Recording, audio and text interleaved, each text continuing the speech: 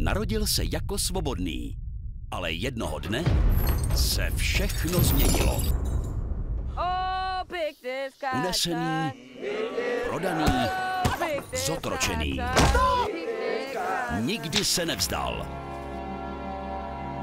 Čujitel Edgifor, Michael Fassbender, Brad Pitt a Lupita Nyong'o v Oscarovém filmu 12 let v řetězech.